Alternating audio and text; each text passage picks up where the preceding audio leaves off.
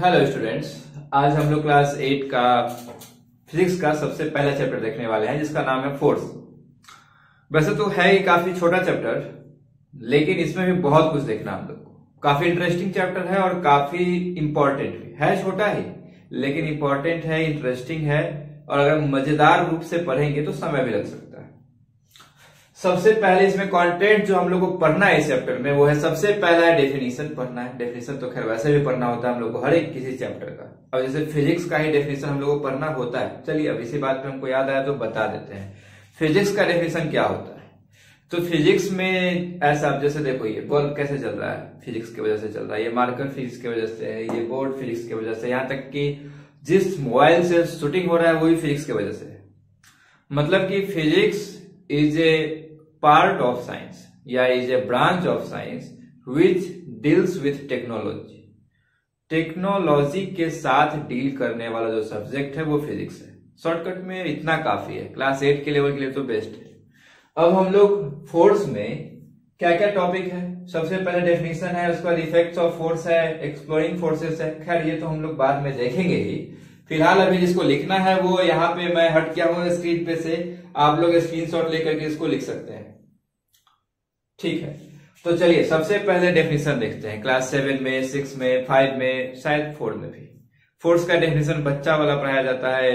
एक force is a push और pull और आज के डेट में भी बहुत लोग को यह भी नहीं पता है कि पुश क्या होता है और पुल क्या होता है। दुकान के बाहर अगर पुश लिखा है तो चार मिनट पहले खड़ा होकर सोचता है कि पुश का मतलब क्या है? ढकेलना है या खींचना है। खैर, वो बात की बात है। अब हम लोग क्लास एट में आ गए हैं। मतलब हम नहीं, आप लोग।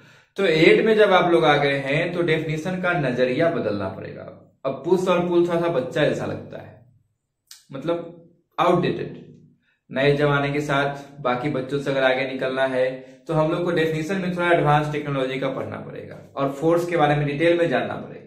तो पुश और पुल इज़ कॉल्ड फोर्स ये तो एक डेफिनेशन है ही। ये तो खैर हम अगर भूल गए तो लिखेंगे लेकिन अगर स्टैंडर्ड डेफिनेशन का बात करें तो फोर्स वहाँ भी होता है जहाँ हम लोग ना पुश कर रहे हो, ना पुल कर रहे हो। अब सपोज़ दैट, जो बच्चा वाला डेफिनेशन है वो क्या कह रहा है? पुश और पुल इज़ कॉल्ड फोर्स। यानी कि जहाँ धकेल रहे हैं या जहाँ खींच रहे हैं, केवल वही फोर्स लगेगा। ऐसा तो नहीं है। अब जैसे कि हम यहाँ हाथ रखे हुए हैं, अब कुछ ढकला तो नहीं रहा मेरे हाथ से, लेकिन क्या हम फोर्स नहीं लगा रहे थे? बिल्कुल लगा रहे थे।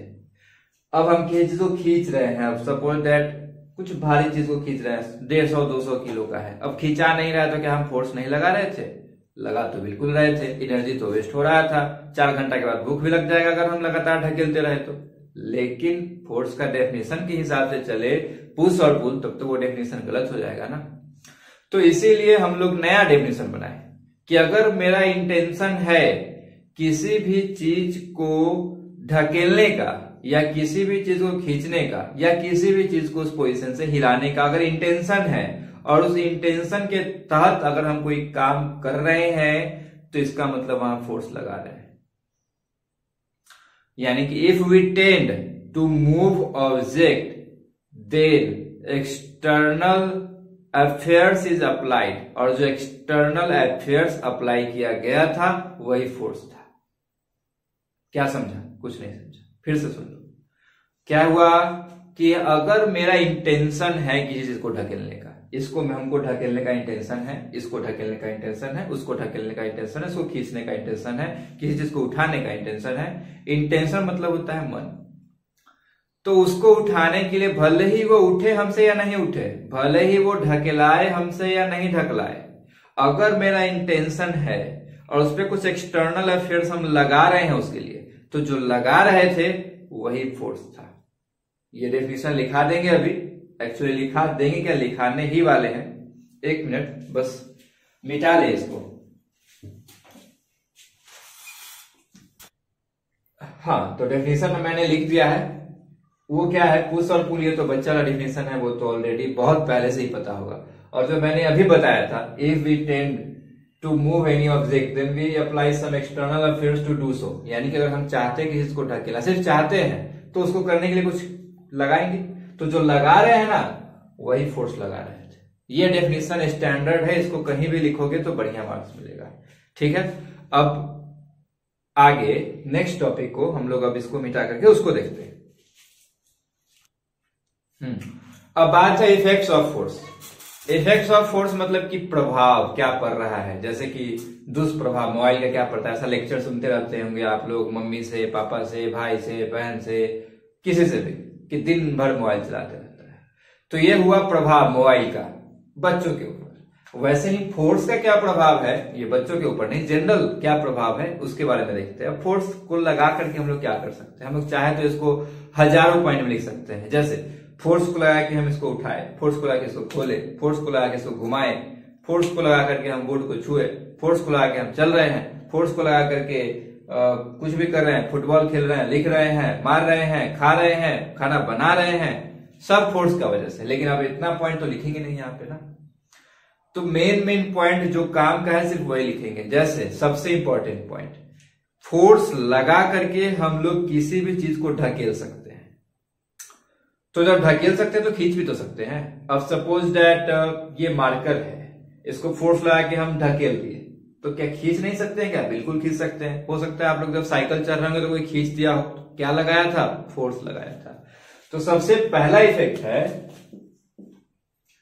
कि अप्लाइंग फोर्स यानी कि फोर्स अप्लाई करके applying force we can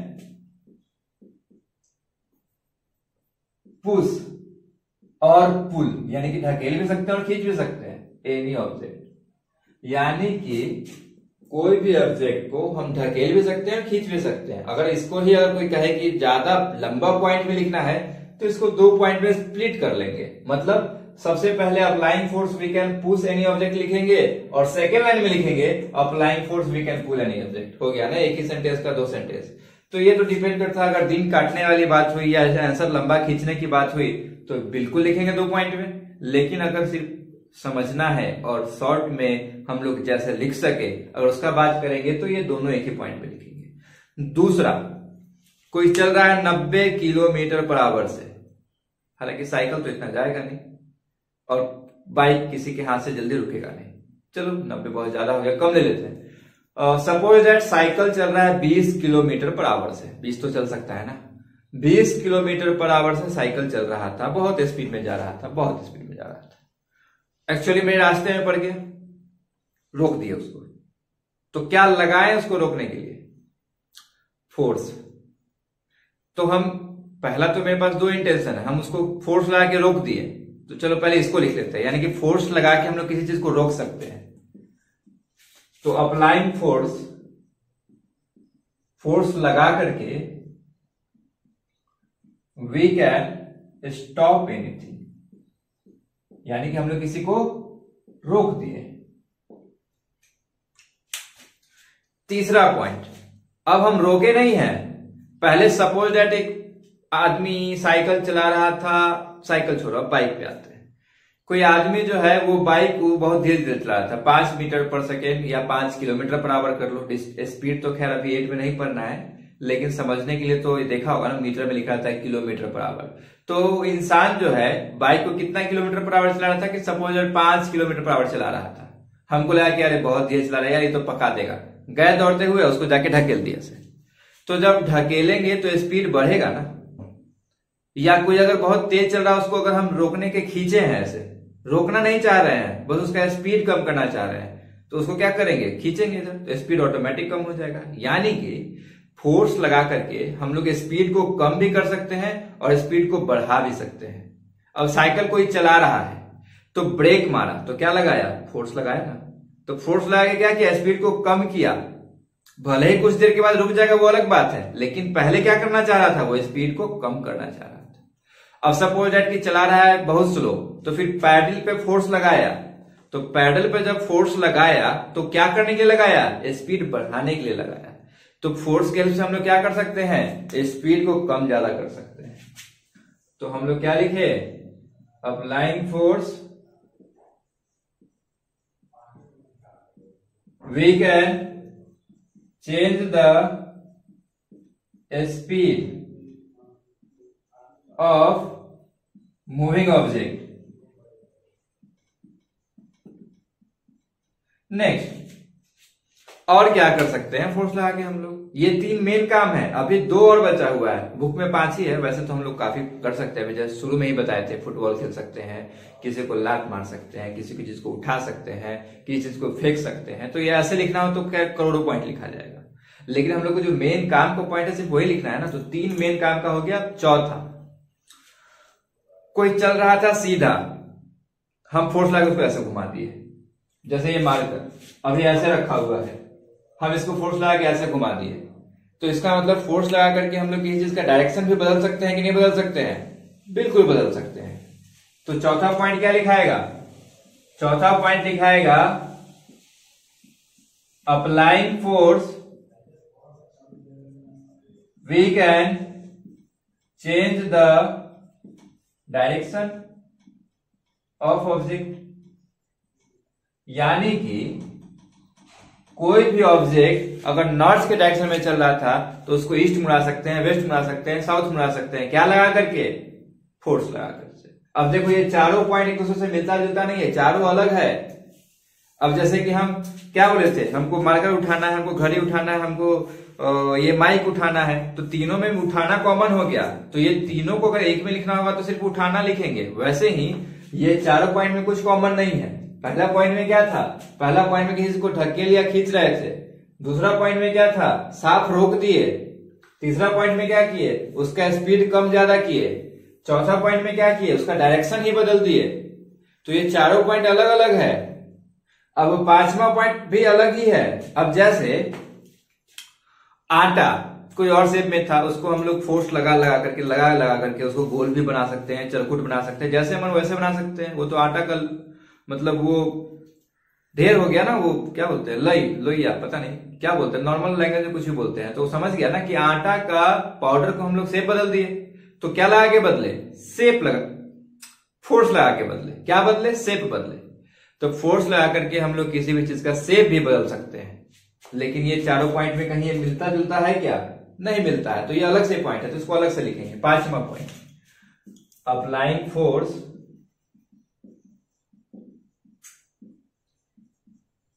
we can change the shape of the object. चलिए, ये आपका पाँच पॉइंट हो गया इफ़ेक्ट का। बस ये पाँच पॉइंट अलग अलग है। पहला, किसी भी चीज़ को ढकेल या खींच सकते हैं। दूसरा, किसी भी चीज़ को रोक सकते हैं। तीसरा, किसी भी चीज़ का स्पीड बढ़ा या घटा सकते हैं। चौथा, किसी भी चीज़ का डायरेक्शन बदल सकते हैं और पांचवा किसी चीज़ का शेप बदल सकते हैं। से बदल सकते हैं। ठीक है? तो ये पाँच पॉइंट हो गया। अब हम लोग का नेक्स्ट टॉपिक है। इसको मिटाते हैं तो फिर इसको शुरू करेंगे। थर्ड एंड फोर्थ हेडिंग है exploring forces and forces due to interaction अब एक्सप्लोरिंग फोर्सेज क्या होता है? मतलब एक्सप्लोर करना। एक्सप्लोर एक इंग्लिश वर्ड इसका मतलब होता है रिकॉग्नाइज करना। रिकॉग्नाइज मतलब होता है पहचानना। अगर हम किसी फोर्स को ये पहचान लेना कि ढकेल रहे हैं या खींच रहे हैं, हो गया एक्सप्लोर कर लिए, पहचान लिए। कोई हमको बता दे कि हम ये बोर्ड को सपोज़ हम ढकेल रहे थे, रात भर ढकेल रहे थे। सुबह में ये आधा किलोमीटर आगे मिला। इसका मतलब क्या किया हम ढकेले तो पहचान लिए ना कि हम ढकेले। अगर सपोज़ ये ढक्कन अभी लगा हुआ था, इसको हम अभी खींच लिए। इसका मतलब पुल किए, खींच लिए। तो पहचान तो गए, फोर्स यही है, बस इतना ही आसान है। ऐसा लग रहा होगा कि बस इतना ही था क्या? हाँ बिल्कुल इतना ही था, बस इतना ही पढ़ना था। एक्सप्लोरिंग फोर्सेस पहचानना है कि पुश है या पुल है। अगर पुश है तो ढकेल रहे हैं। पुल है तो खींच रहे हैं, हो गया एक्सप्लोरिंग फोर्सेस पुश पुल पहचानना रिकॉग्नाइज करना नेक्स्ट है फोर्सेस ड्यू टू इंट्रैक्शन अब इंट्रैक्शन का मतलब होता है मेल मिलाव, जान पहचान। जैसे कि हम दोनों के बीच में काफ़ी अच्छा इंट्रैक्शन है, अगर ये कोई बोलता है, इसका मतलब कि दोनों आपस में अच्छा मिलता जुलता है मेल जुलाव अच्छा है। तो यहाँ पे forces are due to interaction का मतलब है कि फोर्स तभी है जब इंट्रैक्शन है। अब इस बात को प्रूव करने के लिए हम दो स्टेटमेंट देते हैं, ठीक अब सपोज़ डैट फोर्स लगाना है तो कहाँ लगाओगे? कोई ऑब्जेक्ट पे ही लगाओगे ना? कि बिना छुए लग जाएगा। मान लो तो बिना छुए तो फोर्स हुआ ही नहीं। हम तो वैसे जब काम करना है तो उसमें कुछ करना है, तभी फोर्स होगा। अब ऐसे सोच रहे हैं हम खड़े होके कि कोई स्विच बुता दो, कोई स्विच बुता दो लाइट बंद कर दो। सिर्फ़ सोच रहे हैं तो ऐसे थोड़े होता है। करना पड़ेगा कुछ। तो करने के लिए क्या करना पड़ेगा? स्विच पे जाकर के वहाँ पे बटन दबाना पड़ेगा। तो जैसे ही हम बटन को दबाए तो मेरे उंगली और बटन के बीच में टच हुआ या नहीं हुआ? तो टच हुआ तो दोनों इंटरेक्ट हुआ या नहीं हुआ? दोनों आपस में मिला या नहीं मिला? तो अच्छा तुम ही बताओ, बिना मिलाए हुए फोर्स कहाँ लगा सकते हैं? कुछ जगह है वैसे कि लगा सकते हैं, लेकिन उसमें भी लॉजिक है। अब जैसे, दो मैग्नेट बिना सटाए हुए ही दोनों एक दूसरे से चिपक जाता है। बोलते हैं, एक मैग्नेट दूसरे मैग्नेट से चिपक गया। तो वो भी इंट्रैक्शन है। ललक है, चाहत है, मेलजोल है। दो ऑब्जेक्ट के बीच में इंट्रैक्शन है। वो दूर से ही खींचने वाला इंट्रैक्शन है। वो अलग बात है, लेकिन दो ऑब्जेक्ट तो चाहिए ना कम से कम। दो ऑब्जेक्ट चाहिए ही चाहिए। अब जैसे पृथ्वी भी किसी चीज़ को ऊपर से खींच ले रहा है एरोप्लेन इधर से गुजर रहा है, अगर उसका इंजन बंद होगा तो ज़मीन पे ही गिरेगा। तो क्यों ज़मीन पे गिरेगा? क्योंकि ज़मीन और एरोप्लेन के बीच में इंट्रैक्शन है। इंट्रैक्शन जहाँ होगा वही फोर्स होगा। इंट्रैक्शन मतलब टच दो ऑब्जेक्ट टच तो दो ऑब्जेक्ट चाहिए ही चाहिए। इंट्रैक्शन आपस में आदमी का अपना मेल जुलाव नहीं होता है। कोई ये नहीं बोलता है कि मेरा अपने आप से मेल जुलाव काफ़ी अच्छा है। हाँ मेरा, मेरे फलाना दोस्त के साथ मेल जुलाव अच्छा है, मेरे इस दोस्त के साथ मेल जुलाव अच्छा है। तो मेल जुलाव मतलब होता है इंट्रैक्शन तो फोर्स तभी लगेगा जब दो ऑब्जेक्ट रहेगा। और दो ऑब्जेक्ट है तो इंट्रैक्शन होना ही होना है। तो इसका मतलब समझ गया ना इस स्टेटमेंट का मतलब? Forces are due to interaction का मतलब कि दो ऑब्जेक्ट आएगा, आपस में मिलेगा या आपस में नहीं भी मिलेगा, लेकिन दो ऑब्जेक्ट होना चाहिए। दोनों के बीच में इंट्रैक्शन होना चाहिए। अगर ऐसा है, तभी फोर्स लगेगा। अगर नहीं है तो नहीं लगेगा। बोर्ड को ढकेल रहे हैं तो मेरे हाथ और बोर्ड के बीच में इंट्रैक्शन है तो फोर्स लग रहा है। ढक्कन इसका खोले थे तो मेरा ढक्कन और हाथ, ये उंगली दोनों टच था तो इंट्रैक्शन हो रहा था। अब हम इसको बोल रहे हैं, खुल जाओ खुल जाओ खुल जाओ, और कुछ कर ही नहीं रहे तो कैसे खुलेगा? इंट्रैक्शन नहीं है, नहीं खुलेगा फोर्स वहीं लगेगा चाहे इंट्रैक्शन होगा। अब तो समझ गए होंगे? इसमें हम लोग सिर्फ़ एक लाइन लिखेंगे। रिकॉग्नाइजिंग फोर्स यानी कि फोर्स को रिकॉग्नाइज करना है आइदर पुश कर रहे हैं या पुल कर रहे हैं। मतलब खींच रहे हैं या ढकेल रहे हैं, बस यही पहचानना है। और forces are due to interaction में क्या लिखेंगे? Yes it is true force is applied only when there is interaction between two objects. बिना इंट्रैक्शन की फोर्स लगेगा ही नहीं. इंट्रैक्शन बिटवीन टू ऑब्जेक्ट्स हो गया. तो हम लोग चार टॉपिक तो देख लिए. बाकी का टॉपिक हम लोग नेक्स्ट वीडियो में देखेंगे। सेकेंड वीडियो में हम लोग नेक्स्ट टॉपिक देखेंगे। चार टॉपिक हो गया, इसको लिख लीजिएगा। मिलते हैं नेक्स्ट वीडियो में।